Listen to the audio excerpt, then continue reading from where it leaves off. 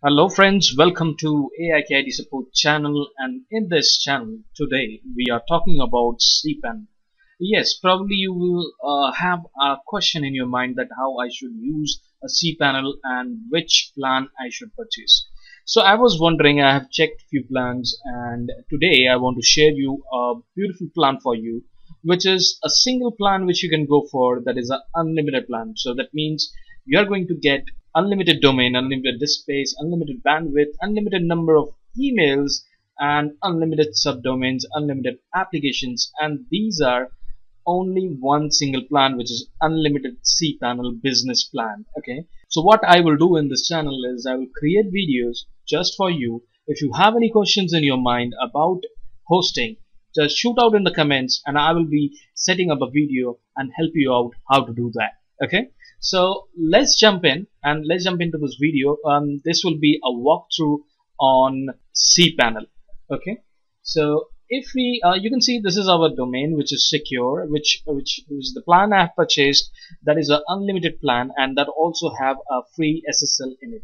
So how it how it is a free SSL uh, they have a feature on which we can um, enable SSL for free that has auto SSL feature okay? That is within the plan. What you need to do is you need to purchase that particular plan and you can jump in and you can uh, go ahead and set up all the things. So the first thing is I will give you a walkthrough about the cPanel so how you should log into the cPanel uh, in the old days what happened is we, we need to go to our emails and look for the link. But here what you need to do is simply just go to your domain and type cPanel here. Okay?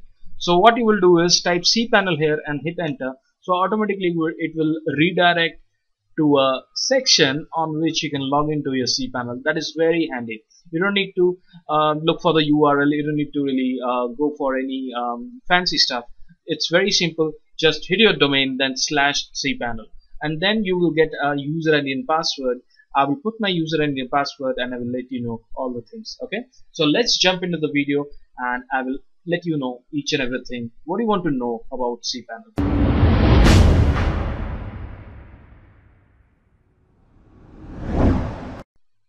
Okay, so now you can see I've already logged into the cPanel and this is a new cPanel version and I will walk through each and every step and I will let you know what are the sections, how they are divided. But before we jump into this, I would like to really share an offer which is going on for hosting. If you like it, if you want a hosting and which is cheap and best, that is it. You can go for that. Okay. So I'm just showing up the link where you need to go. The links are there in the description if you want, but still I'm just showing you. I will take a few seconds here.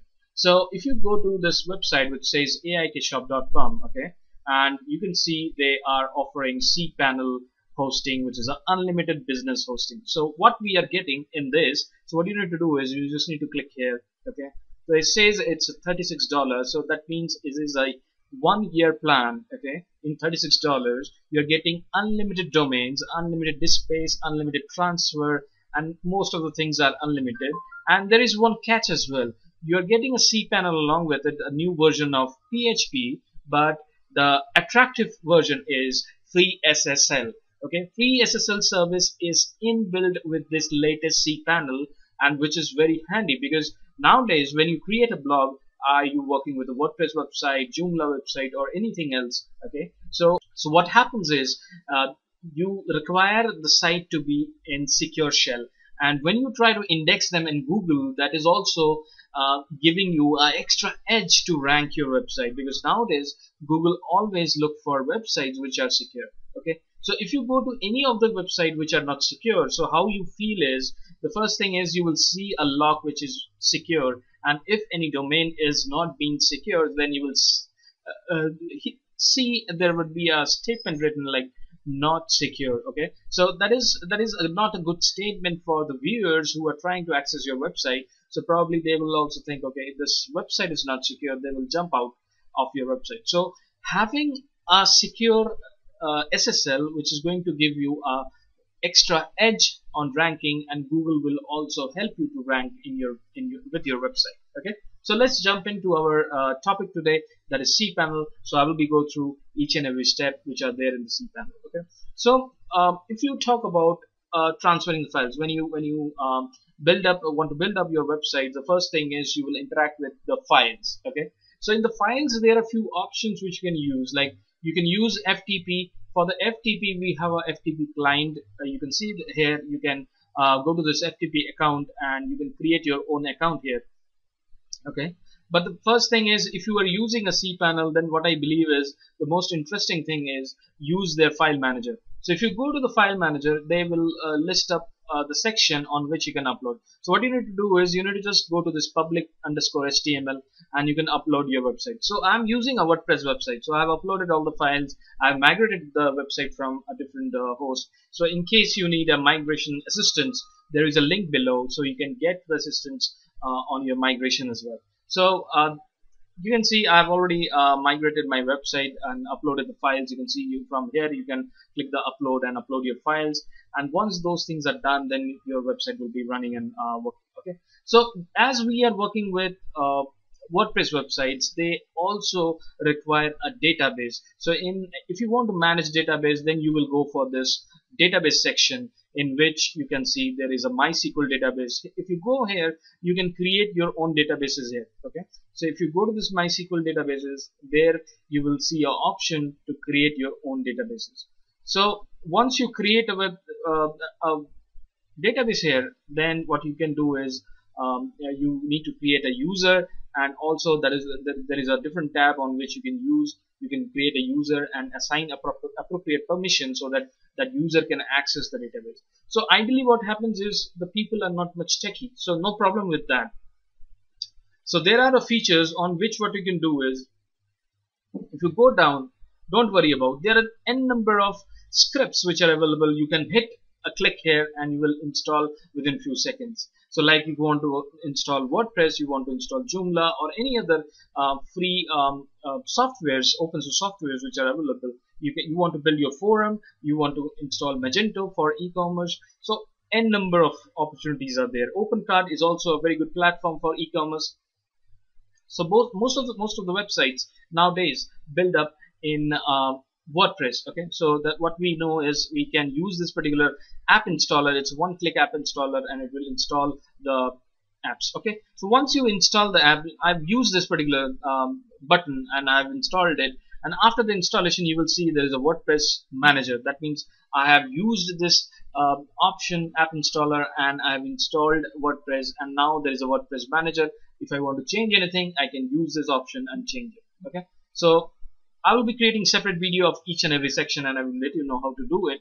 But right now it's a walkthrough video of cPanel. Okay. So if you want to create databases from here you can do. If you want to manage the database like you want to create new tables, you want to edit tables, then you need to go to this phpMyAdmin. If you click it, it will take you to a, a different uh, tab and you can uh, use it. Okay. So I will show this in case uh, you will do a migration let's say we want to do a WordPress uh, website migration. So I will let you know how to do it in next video. Okay. So uh, these are the few uh, new tool, marketing tool, which are free of cost, which you can go for. They are giving it. So uh, I really like it. Some of them like link building and increasing web traffic tools. So you can use it. You can test it out.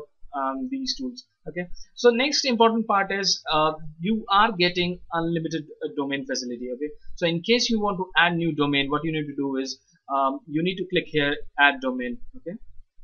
And here you need to put your new domain name and hit add and that's it. Your domain will be added. But here is a catch. Before you add a domain uh, what they want is they want uh, the domain um, your domain name. Is it a new domain or an old domain? That should be pointed to their uh, name servers okay? So once it, they are added to the name servers you will uh, add your domain and upload your files and make make your website live okay so in case you face any issue they have a very good, good support system. You can go to their support system and they will help you out to build uh, and uh, assist you further to make your website live.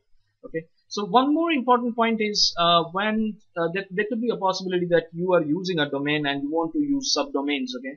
So subdomains are very handy as well in case you are running a one website and you want to create a separate identity along with that particular company. Let's say I'm running a AIKIT support. uh, .com. In that uh, if I want to run a forum then what I will do is I will hit uh, I will create a subdomain called forum.aikitsupportcom so that will be a separate application. Let's say I will go with a different forum application like simple machine or anything like that. Simple machine is one of the uh, really good tool from which you can build your forum. So if you click that that is a separate install separate application. They are not being um, uh, mingled with uh, WordPress. So um, I can use that. So subdomain is really helpful in that cases okay? If you want to manage the DNS service so you can change in case uh, uh, there can be a possibility you have a different uh, external uh, emails okay? So in that case you need to create some DNS entries. So those entries you can set up. For example I have my own email addresses uh, set up in Google okay? So they are Google premium accounts. So what I do is I, I already updated the Google DNS server settings and so that my email can route there okay? So you can create unlimited number of emails if you are hosting in this particular uh, website uh, in, in, the they are providing unlimited emails. So you can go for it you can create your emails from here okay? And um, there is a webmail access as well. So you can use the webmail uh, link as well okay? If you want to forward any email that is also possible. Create an email address and then uh, forward it to a gmail or a yahoo or a microsoft id that is also possible.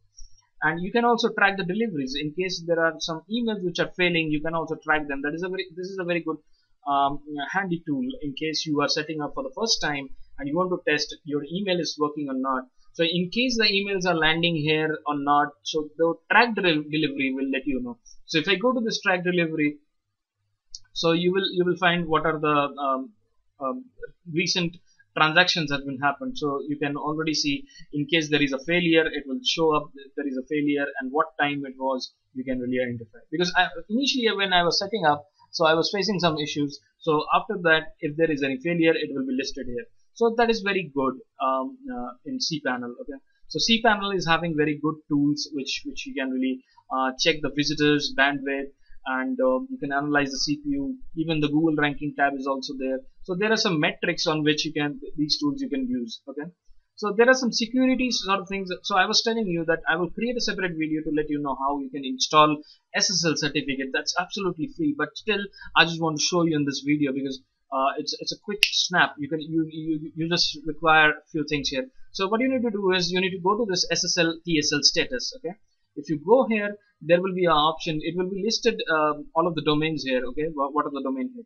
So here you can select that particular domain and hit run auto SSL so what it will do is you can see a green lock here. So it is creating and enabling the SSL and it's, it is it is a, a single button what you need to click. That's it nothing else. So it will automatically make and it will take few minutes and enable your SSL that's it okay. So if you are using a WordPress website you need to do a little bit a small editing. So I will let you know that as well in different videos. But whatever the questions you have just shoot it in the comments. I will happy to answer them and create a video right away whenever I, I got time. Okay. So um, we have gone through the security settings. Now you can see these are a few softwares which are available which you can use. I use Cloudflare as well so I will create a separate video on this. Cloudflare is a very good uh, option to get a free CDN. So if you talk about what a CDN, in case you want to get a better performance of your website, you should have a CDN caching. So Cloudflare right now offering some free services to get free SSL along with free CDN. So if you want to use that, that is also very good, which you can go for. Okay, so this is some advanced tools like tracking DNS and uh, Apache Handler, cron jobs, so these are the few things. Even you can scan the virus as well in case your website is having some virus. Okay. So there are some preference settings which you can use like contact, password security if you want to change those things and even do some user management. Those are also possible.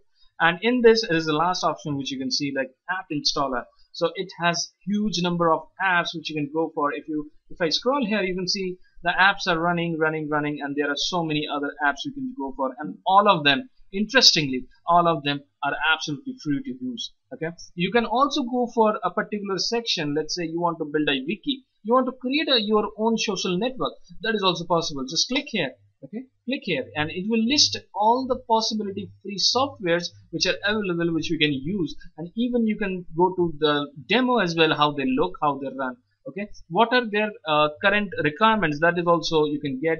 What are the rating you will get so all those things are very well organized and this is one of the Elgg is one of the very good tool on which you can build a social networking website like absolutely like Facebook. You, they have a very good theme and they have a good community which you can use as well. So in case you want to do blogging if you click here you can see n number of uh, options are there. WordPress is prime one of the services which are being used for building a blog okay so this is a quick intro on cPanel if you have any questions just shoot out in the comment section and if you like it hit the like button do subscribe because I'm going to create lots of videos just on cPanel so that you can understand how the cPanel works. If you have any questions, just let me know in the comments. I will create a next video on that particular question and it will be a visual and I will help you. I will try to assist you as better I can. Okay. Thank you very much for watching this. This is Joy Banerjee signing off from Ask Joy B Support.